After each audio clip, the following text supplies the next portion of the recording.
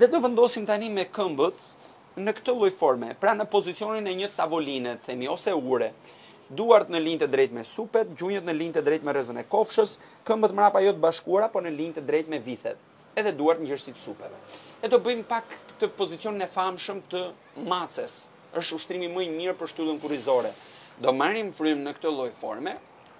E në nxjerrjet e frymëmarrjes kërrusemi, fusim vithet brenda, tërheqim organet lart, shtyjmë kurrizin sipër. Marrim frymë e nxjerrim frymëmarrjen. Okej, pra bëjmë disa përsëritje të këtij ushtrimi, marrim frymë e nxjerrim frymëmarrjen. Është ushtrim fantastik jo vetëm për shtyllën kurrizore, okay, por është një ushtrim shumë i mirë për masazhimin e organeve të brendshme, përmirësimin e tretjes, qarkullues, jashtëqitjen dhe organet genitale, sidomos organet riprodhuese si femërore dhe mashkullore.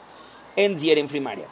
Okej, okay, një tjetër ushtrim nga këtu ku jemi, mund të vendoseni në këtë lloj pozicioni, Pra, në pozicionin e trekëndëshit e quaj unë, okay? pra duart qëndrojnë ku janë, shtyjmë kokën në drejtim gishtave të këmbëve, thembrat i shtyjmë në drejtim të tapetit, nëse nuk arrini dot, i përthyni pak gjunjët dhe qëndroni me gjunjët të përthyer. Është një ushtrim shumë i mirë, jo vetëm për të shtrirë tërë muskujt posteriorë të kofshave, të krahëve, shpatullave, forcojmë duart, por është një ushtrim fantastik për të çuar sa më shumë oksigjen tek truri, pra tek koka. Dhe nga këtu ku jeni, mund të merrni këmbën e djathtë, ta sillni përpara, të çoni gjurin në tokë, okay? dhe të shtrini krahët lart. Duke qëndruar në këtë lloj forme, duke shtrirë krahët sipër, do shkojmë të zgjasim këmbën e majtë, forcojmë këmbën e djathtë. Shkojmë dhe qetësojmë muskulin e këmbës së majtë, pra këtë muskulin psoas, i cili është i lidhur me tërë fashën lombare. Sa më shumë, pra kur keni ndonjëherë kontraktim, tension tek mesi, qëndroni në këtë lloj forme këtu, nuk është nevoja dhe t'i shtrini krahët ë, mjafton që të shtyni me vithen poshtë, të zgjatet muskuli i këmbës së majtë dhe thjesht qëndroni për pak sekonda. Ok? Një tjetër, pastaj bëni këmbën e kundërt. Një tjetër ushtrim, siç jeni në këmbë, është një ushtrim shumë i mirë për njerëzit që vuajnë nga dhe ky është një problem i madh për të tërë, jashtëqitjen. Pse vuajnë të tërë? Kequshqyerja, stresi, jeta sedentare, ashensorët, makina, nuk ka më ngjitu në këmbë te shpia me shkallë apo shko në palestër në këmbë apo ku ta di unë, makinë gjithandej. Pra, duke qëndruar në këtë lloj forme me këmbët, gjunjët do përthyhen pak.